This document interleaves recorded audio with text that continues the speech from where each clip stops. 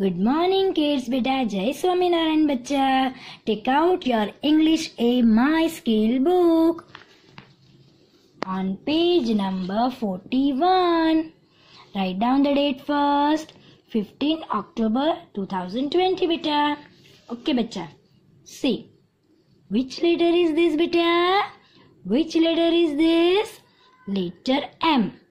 Letter M. This is letter M. M for mug. M for mug. Okay, beta. Now see, beta. Which letter is this, beta? M. Okay, beta. M for mango. Now, kids, I am going to teach you how to dress the letter M with your finger. Okay, beta. So let's start. Okay, beta. Now you have to draw one standing line, then another one slanting line, then going up with one slanting line and coming back with standing line. Yes, very good. Which letter is this, beta? Letter M. Okay, bacha. Now, wow, what is this? M for mango. M for mango. Okay, beta. Mango is a yellow in color. M for mango, bacha. So, kids, today we'll learn about letter M. Now, see how to write the letter M. First of all, we have to draw one standing line, then another slanting line, then again going up with slanting line and coming down with one standing line. Which letter is this beta? Letter M.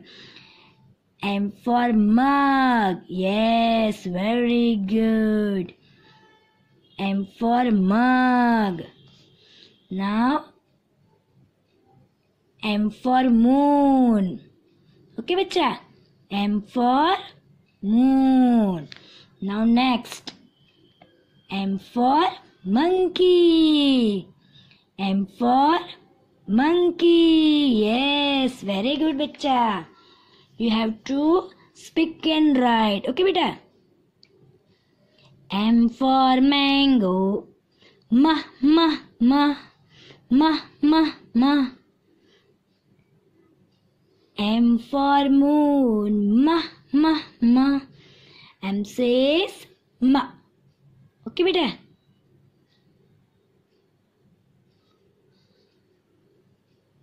Which letter is this, beta?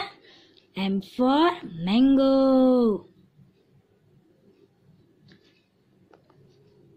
Now, beta, you have to draw one standing line, then another slanting line, going up with one slanting line, then again coming down with standing line. Which letter is this, beta? M for mango. M for mango. M for moon. Look kids, I have done. Okay, bacha. Now page number 41 is your classwork and page number 42 your homework beta. Okay, bacha. You have to finish this page. Okay, bacha. Bye bye.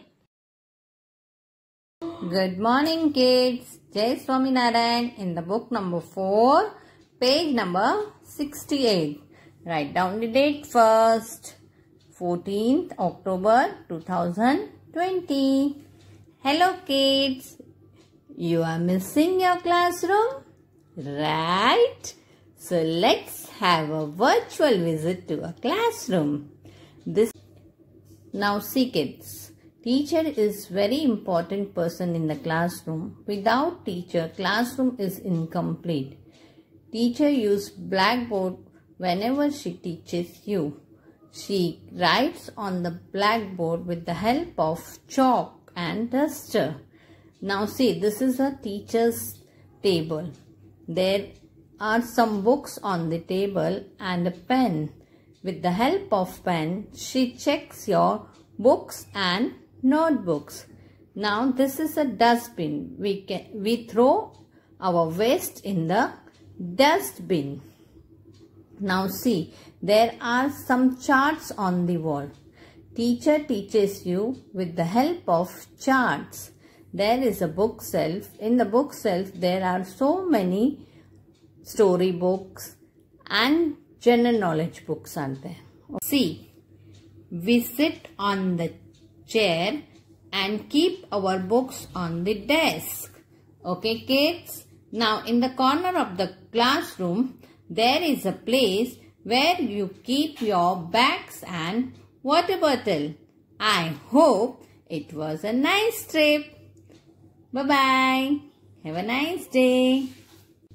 Now on the next page, page number 69. Write down the date first. 14th October 2020. See, in this page you have to color this blackboard with black color crayon. Okay kids?